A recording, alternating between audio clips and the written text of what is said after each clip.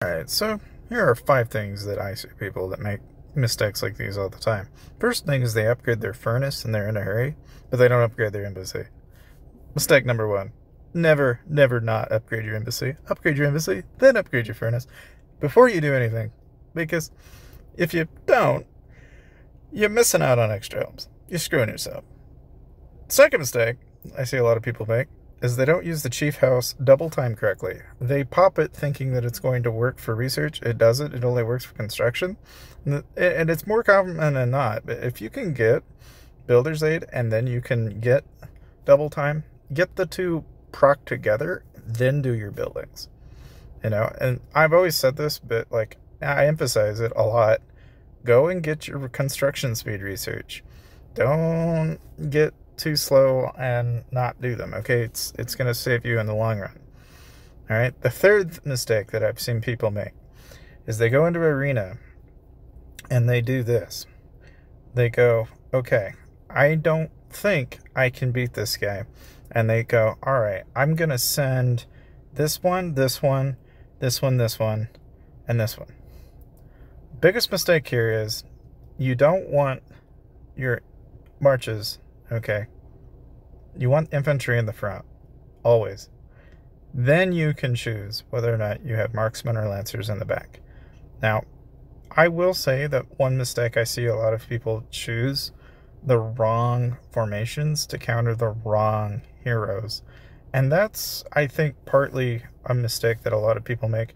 The other mistake they make is I've told a lot of people that you can hit retreat in arena and I think these same people are also going to Explorer's Cabin and trying to do it here. And they're like, but it's broke, it patch, it no worky. It's like, no, it only works in arena. Don't be silly. For those of you out there who think that it was going to work any other way, like, no, you, no, you're doing it wrong.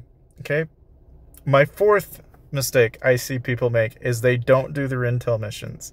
Okay, you need to do your intel missions. Don't be that guy that does not do his intel missions because there is lots of free loot in here, okay, that you can garner. And it's shards and it all adds up, okay? I don't even care if you've already got all the shards for these heroes. You can still turn around and use those shards.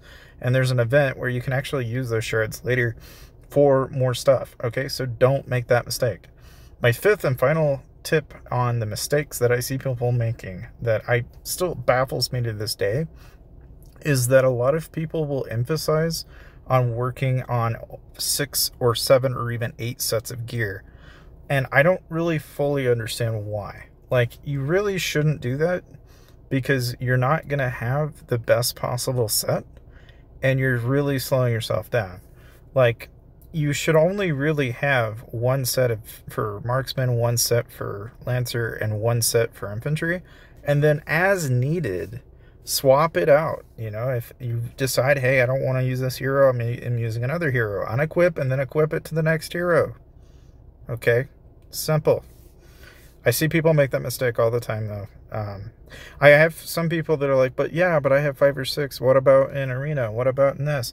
It's like, relax, relax. It's not that big of a deal. It doesn't matter as much. You need these mainly for like PvP. If you want to be competitive, that's what you have to do. In any case, that's really about the only five things that I see people making mistakes on, but feel free to share whatever else you see people doing.